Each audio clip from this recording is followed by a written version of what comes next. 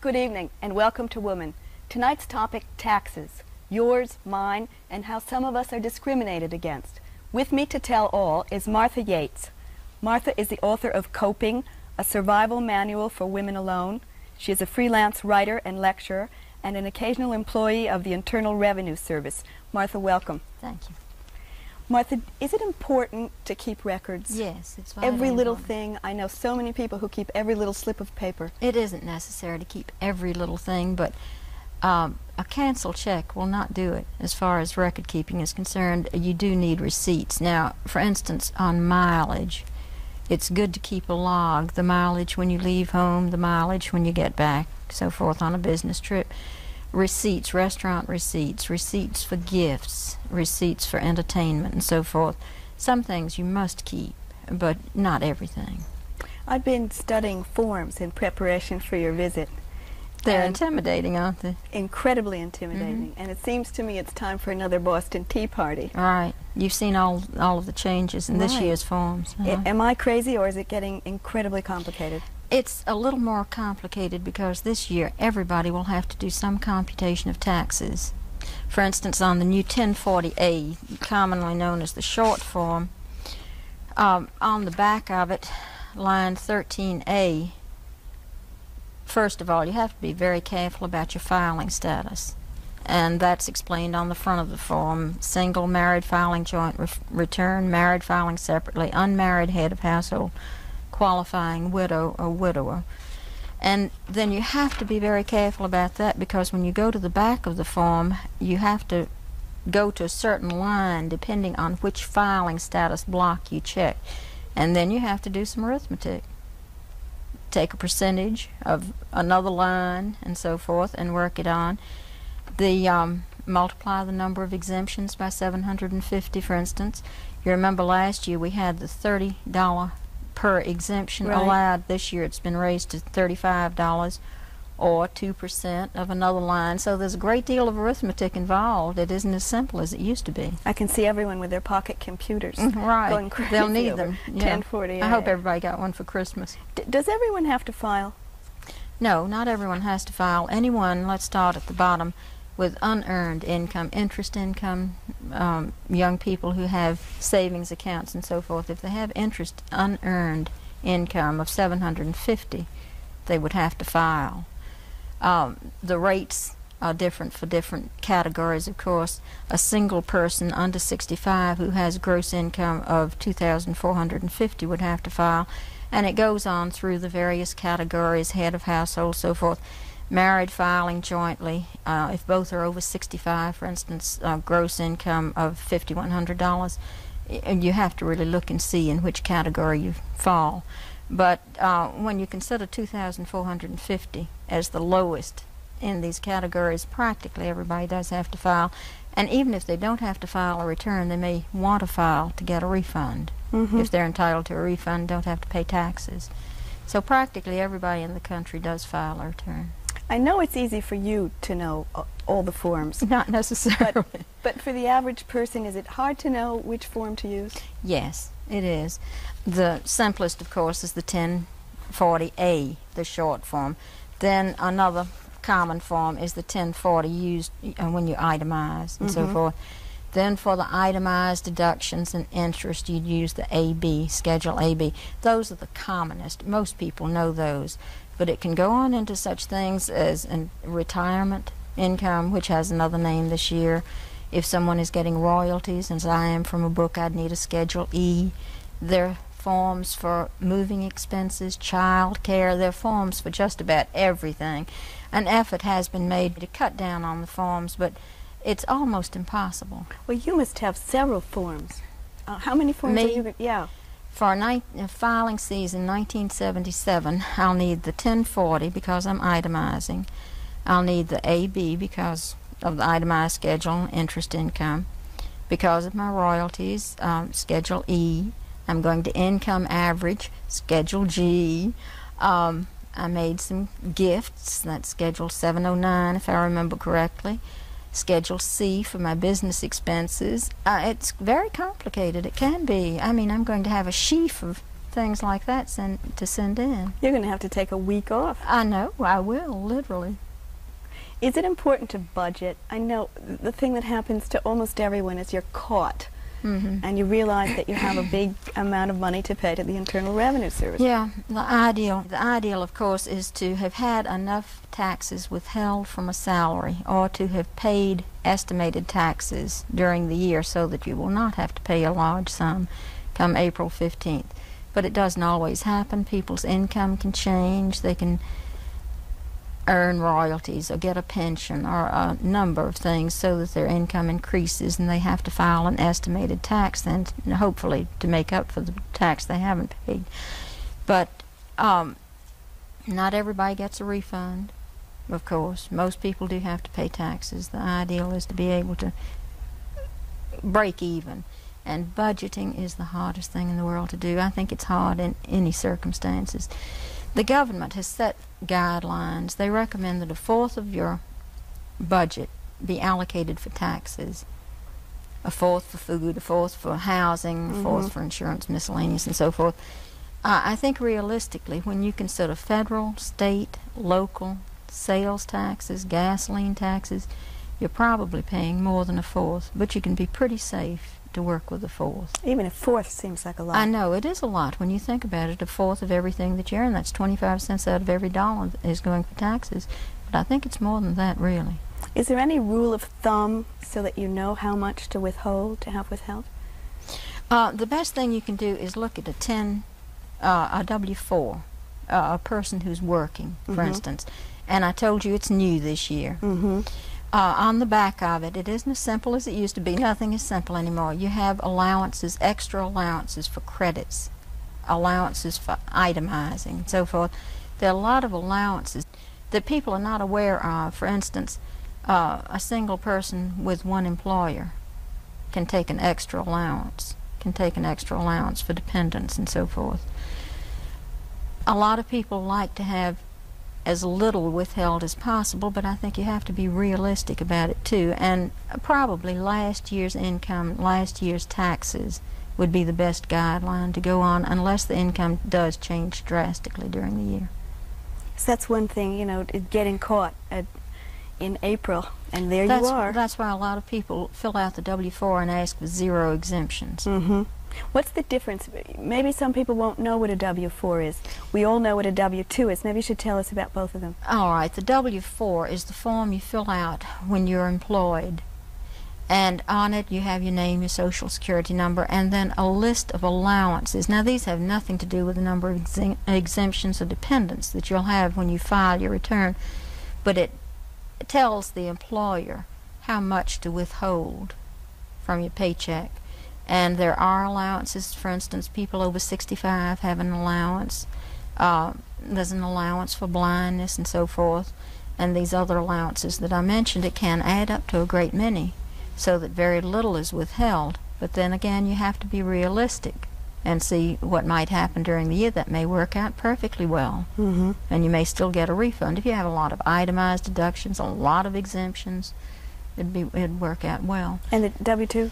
The W-2 is the little form that we are supposed to get from our employers by January the 31st of every year. And uh, frequently, some employers have been very lax about that. For instance, I'm not pointing any fingers or anything, but I'm just naming this as an example.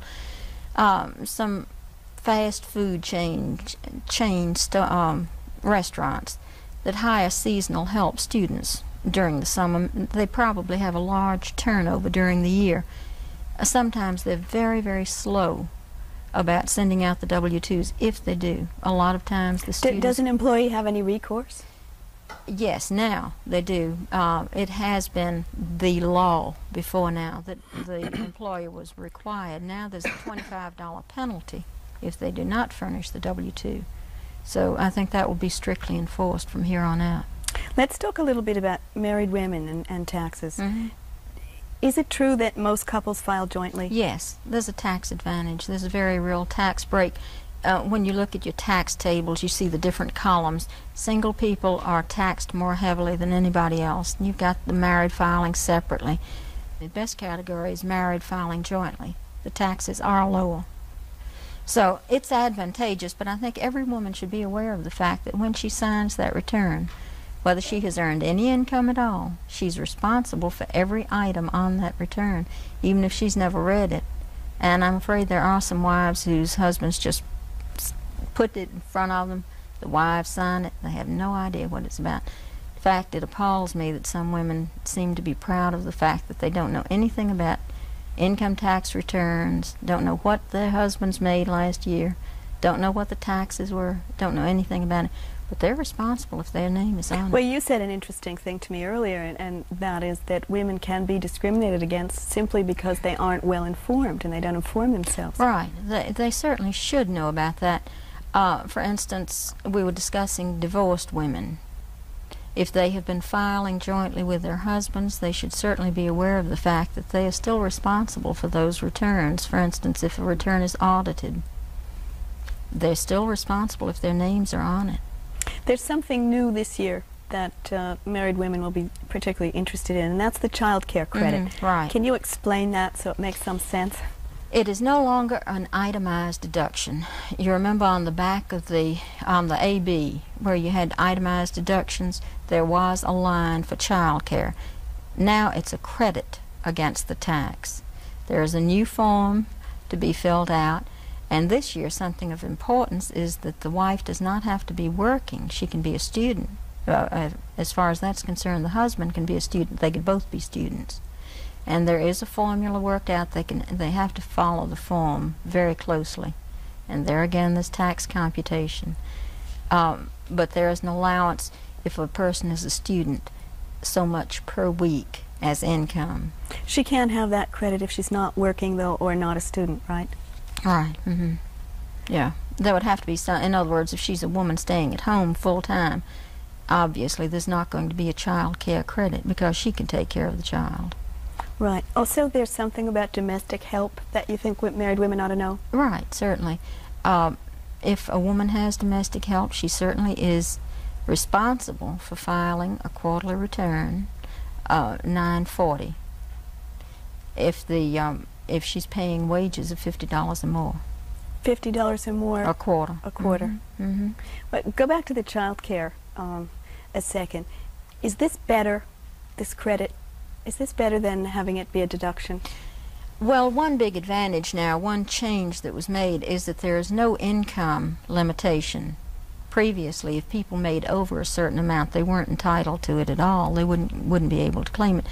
I think that the changes that have been made, for instance, it says uh, before it said gainfully employed, now it says seeking employment also, or the student thing. I think is very good. Uh, someone would just have to sit down and work it out. There's still limitations to it.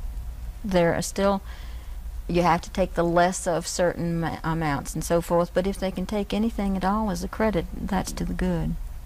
Are there other exemptions for married women who work other than the child care credit that are different this year, or is everything pretty much the same? Everything is pretty much the same. The W four and the child care are the two most important things, yeah, that have been changed. What about single women? Single people Oh. in general are very discriminated against, There, there we can't say just single women, except for the fact that there are more of us than there are of them, uh, more single women than men. But there is an organization, a nonprofit organization in Washington that has been lobbying for tax equity. And if anyone questions the fact that this is needed, they should look at the tax tables. And the single people are always taxed more heavily than the married people, married filing jointly especially and the organization is called COST, Committee of Single Taxpayers. They're at 1628 21st Street, Washington. The zip is 20009 if someone wants to write them and get some information. They have had effect in the past in trying to equalize the taxes, and I hope they'll have more in the future because it's very, very difficult for a single person who probably doesn't have exemptions, dependents, uh, who may or may not itemize, who's probably renting and not taking the advantage of mortgage interest um, tax deductions. Um, very difficult for them because they are in this high tax bracket, and I think it's unfair. What about the single head of household? The unmarried head of household. Um, this is a category into which a lot of widows and divorced women fall. Now, the widows are a special case because during the in the year in which her husband died, say a woman's husband died in 76, when she files her return in 77, sh- if she filed jointly with him, she can file a joint return. And for the next two years, if she meets certain standards, that's uh, qualified to file jointly if she has a dependent child for whom she maintains a household, if she remains unmarried during the tax year, she can still file in what is in effect married filing jointly. And then after that, she and the divorced woman would file as unmarried head of household, and that's in the column two. Uh, it is a tax advantage. Their tax is not as high as those of single women without children. Have there been changes in the estate tax? Yes, and it's all to the good. As you know, uh, until this year, there was a $60,000 exclusion uh, from anyone's estate. In other words, only the amount over 60,000 was taxed. That's been raised for 77 to 120,666. Mm-hmm. And by 1981, I think it will be up to 175,000, if I'm not mistaken. It's a great increase, yes, and it will help. I think this was primarily, Sandy, due to the fact that attention was brought to the plight of farm wives who work alongside of their husbands even more. For instance, another married woman whose husband goes out and works and the married woman stays at home can't be said to have a particular interest in his, I'm talking about a financial interest in his business or profession, whereas a farm wife does, because her labor there with her husband is vital to the operation of the farm. So, because of this, the estate taxes have been changed and it will help them greatly. What about buying, you know, going back to married women, what about buying savings bonds for your children? What do you do about those? What do you do It's a about good the in- interest? it's a good investment and it's a question a lot of parents raise. Uh, Do I report the interest? Does my child report the interest? What do we do? Wh- Okay. what is the answer? All right. Well, first of all, we go back to that $750 unearned income. Mm-hmm. Uh, when a parent buys a bond for a child, the parent should be named as beneficiary, not co-owner, which it goes against everything I've always preached about co-ownership um, in order to avoid estate taxes. But this is a different case. In this way, the parent is not responsible for the payment of taxes on the interest. Uh, During the first year in which the bonds are bought, they should file a return in the child's name stating the intent of filing annually if the interest is, is above $750. And that's all there is to it. Hmm. That that's very interesting because I know that's a frequently asked Mhm. question. Yeah, right. What about self-employed women? Self-employed women do have a special problem. They're not having taxes withheld from a salary, obviously, since they're self-employed. So they go and they're going to have to pay not only their own taxes, but their Social Security taxes. So they have to fill out some more forms, an ES and an SE. Um, if a woman who has her own business has employees, then she'll have to file quarterly returns for the employees, a 941 an annual 940 if she's uh, for the unemployment taxes. It's pretty complicated, but the IRS does help in all cases. Let's not paint a black picture. They will help anyone from a 1040A on to the more complicated situations.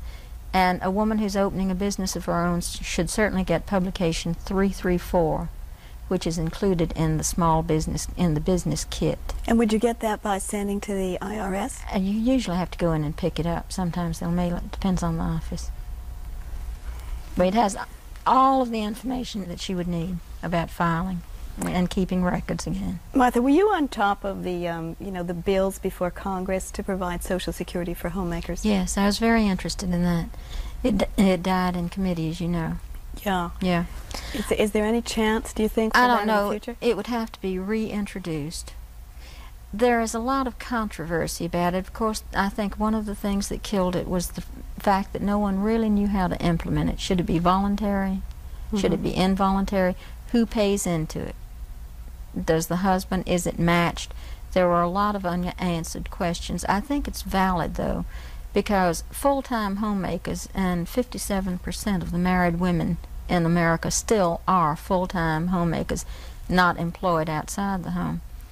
They have no disability insurance. They have no social security coverage. They're really very unprotected. They're entirely dependent on whatever their husbands can do for them in the way of insurance and so forth. So I hope it will be reintroduced. I hope that it'll be worked out so that it is viable and will be passed. What about the displaced homemakers oh, bill? Oh, oh when I heard that that was killed in committee, I, I nearly cried. As you know, the California Displaced Homemakers Act was the prototype for the. Um, Maybe we should explain to people exactly what it is. It's a beautiful thing. It really is. It's an act whereby women who, through death or divorce, for instance, are thrust into a life alone, are counseled for that traumatic period immediately after a death or divorce, are helped to use their life skills there again, the homemaker who says, I can't do anything, and she's been doing something all of her life. These women are helped to utilize those in order to earn a living. There's training available. Uh, the the act is wonderful. I think it's excellent, and I think it's needed nationally. And Barbara Jordan and Yvonne Burke introduced the bill, and it went to committee, and it was killed. I hope they'll reintroduce it, and I'm going to do everything in my power to help its passage because I think it's vitally needed. Someone asked me one time, well, why just for women? Why not for men? The only answer I can say is that a woman who spent her whole life as a homemaker is not prepared to go out and earn a living, whereas a man who has been divorced or whose wife has died has been working. Right, he still has some right. means of income. Now, he probably will have the emotional problems that the woman mm-hmm. has, and uh, why not open the centers to them, to the men if needed? Speaking of committees, let, us talk for a minute about the Ways and Means Committee. They are, are they not, responsible for all of the decisions about our taxes? Mm-hmm. All right, and if you have any problems, if you have any complaints, I would urge anybody to write to them. You, you really think that does some good? Write to the con- your own congressman, yeah, and write to the Ways and Means Committee. Why not? I think most people think that the policy is made at the Internal Revenue Service, and no, that's really not no, true. No, no, no, uh-uh, no, far from it. The the tax laws are made in the Ways and Means Committee, and they're given to the Internal Revenue Service to enforce, and also to help the public with. You know, we forget sometimes we think of the Internal Revenue Service as a collective service. There are taxpayer service branches, and they're the ones who will help. Let's talk for a second about newly divorced women. Um, lots of women don't realize that alimony is to be counted as income. Right. They certainly don't. They're very they're so pleased when they're awarded a large amount of alimony, but it is taxable to them tax deductible for the husband. Uh, now, child care is not taxable. Meet child support. Child support, I'm sorry. Child support is not taxable, so I would urge a woman, if she has a choice and has children, by all means take child support instead of There's also sometimes some confusion as to which parent can claim the child as, as a dependent. Mm-hmm, right. W what are the guidelines for that? The guidelines have not been changed this year, especially, except in one sense, and it's a very important sense. Heretofore, if the decree did not state which parent could take the child as, a, as an exemption as a dependent, usually the custodial parent was able to claim him or her. However, if the non-custodial parent contributed so much per year per child, and the decree stated it, then he could claim it. Um, the amount this year has been changed for 1977. It's something that I think all men and women facing divorce or having gotten a divorce should think about and go and consider very carefully. Now the husband or the non-custodial parent will have to contribute $1,200 a year per child. And that can amount up when there are quite a few children. What about filing jointly after a divorce? The year of the divorce, yes. well, I would advise against it definitely. W why would you? There again, the wife is going to be responsible for that if she signs it. And if there's an audit, she's going to be responsible. If taxes are due, she's going to be responsible. If there's a penalty or interest, she's going to be responsible. And I really don't think, oh, what is she doing? She's helping him to file in a lower tax bracket by filing jointly with him. And I think there are too many disadvantages to it. If if you are divorced and your husband supports you totally, um, he's not entitled to claim you as an exemption. Is that Mm-mm. right? That's right. Uh, uh, no, as an exemption. You are not, he can claim you as an exemption, but not a dependent. A Right. wife is never a dependent. An exemption. Right. Right. We, we talked a little bit about Social Security for homemakers, but Mhm. I, I'm not sure that we made absolutely clear the ways that the women are discriminated against in, in the Social Security benefits. Can we talk particularly about widows? Are there ways that the widows are, are discriminated against? Not the, not the single heads of household and, and the other people. Well, widows who don't have children really are just thrown into the category of singles, single taxpayers. I don't think Social Security payments for the woman who starts claiming them herself are adequate. Would you advise women in that situation to write letters? Oh, surely. In all situations, huh? Yeah. Martha, we're out of time. I thank you for the information Thank you. and thank you for watching and good night.